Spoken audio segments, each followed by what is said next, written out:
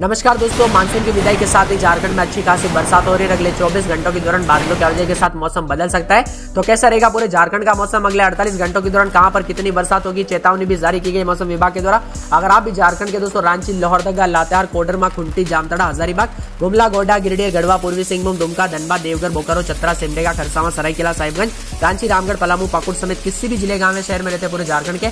इस वीडियो को जल्दी से लाइक कर दीजिए। इस चैनल को लाल वाला बटन दबाकर सब्सक्राइब कर दीजिए। साथ में घंटे के आइकन को दबाकर ऑल पर क्लिक कर दीजिए और हमें कमेंट करके बताइए कि आप झारखंड के कौन से ज़िले गाँव शहर में रहते हैं। तो दोस्तों, मौसम विभाग की लेटेस्ट और ताज़ा जानकारी के मुताबिक झारखंड के विभिन्न इलाकों का मौसम बदल रहा है। अगले कुछ घंटों में रांची के कई जिलों में भारी बरसात के साथ वज्रपात होने की आशंका है। मौसम विभाग ने आज कई जगहों पर हल्की हल्की बरसात और साथ में वज्रपात होने की आशंका भी जताई जा रही है।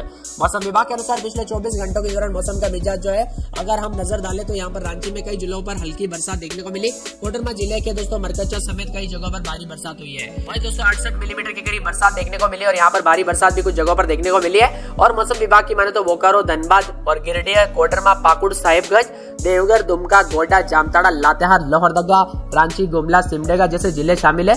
इसी दौरान दोस्तों इनके साथ ही तेज बरसात के साथ साथ बिजली गिरने की संभावना ज़ाहिर की गई और इसे लेकर अलर्ट भी जारी किया गया है। बंगाल की खाड़ी में बनने वाले साइक्लोनिक सर्कुलेशन की वजह से बारिश की संभावना हो गई है और बताया जा रहा है कि विभिन्न इलाकों पर मौसम बदलेगा और बंगाल की खाड़ी से आ रही नमी वातावरण में मौजूद है, जिसकी वजह से सुबह के समय गर्मी और दोस्तों दोपहर होते होते नमी नज़र आ रही है। इसी मिश्रण की वजह से मेघ गर्जना और वज्रपात वाले बादल बनते हैं, जिसकी वजह से दोपहर के बाद दोस्तों जो है मौसम में परिवर्तन के साथ मौसम बदला है और कई जगहों पर बरसात होने के आसार है। आज और कल रांची, जमशेदपुर, बोकारो और हजारीबाग समेत दोस्तों मौसम काफ़ी बदलने की संभावना है। और मौसम विभाग की माने तो दोस्तों, पिछले तेरह दिनों में तिहत्तर पॉइंट एक मिलीमीटर बरसात हुई है। हालाँकि दोस्तों, सामान्य रूप से इसी दौरान चवालीस मिलीमीटर बारिश भी रिकॉर्ड की गई है। बताया जाए कि पूरे लोहरदगा में तीन दिन छिटपुट, आज अच्छी बरसात होगी। रविवार, सोमवार को फिर बरसात होने के आसार है। लातेहार में दोस्तों, पूरे पाँच दिन तक छिटपुट बरसात होगी। कोडरमा में चार से पाँच दिन बादल, उसके बाद छिटपुट बरसात होगी।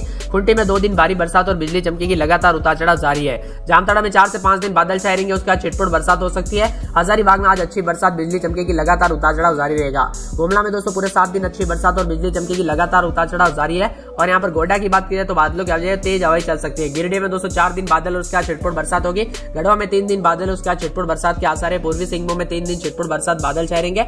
उतार चढ़ाव जारी रहेगा। दुमका में दोस्तों बादल और उसके बाद छिटपुट बरसात होगी। धनबाद में तीन दिन छिटपुट बरसात और बादल छाएँगे। देवघर में चार दिन बादलों की वजह के साथ मौसम साफ़ है। बोकारो में तीन दिन छिटपुट बरसात और बादल छाएँगे। चतरा में आज अच्छी बरसात और बादल छाएँगे। सिमडेगा में पूरे चार दिन अच्छी बरसात और बिजली चमकेगी। खरसावा में दोस्तों आज अच्छी बरसात और बिजली चमकेगी। और यहाँ पर खराई सराई केला की बात किया तो चार दिन अच्छी बरसात और बिजली चमक सकती है। साहिबगंज में पूरे पाँच दिन बादलों के वजह के साथ तेज हवाएँ चल सकती है। रांची में दो दिन अच्छी बरसात और बिजली चमकेगी। वही दोस्तों, रामगढ़ की बात किया तो रामगढ़ में आज अच्छी बरसात, बिजली चमकेगी। छिटपुट बरसात का दौर शुरू रहेगा। पलामू में तीन दिन बादल और छिटपुट बरसात होगी। पाकुड़ में चार से पाँच दिन तीस बत्तीस के करीब तापमान छिटपुट बरसात हो सकती है। वही दोस्तों, यहाँ पर बताया जा रहा है कि विभिन्न इलाकों पर उतार चढ़ाव जारी है। कई जगहों पर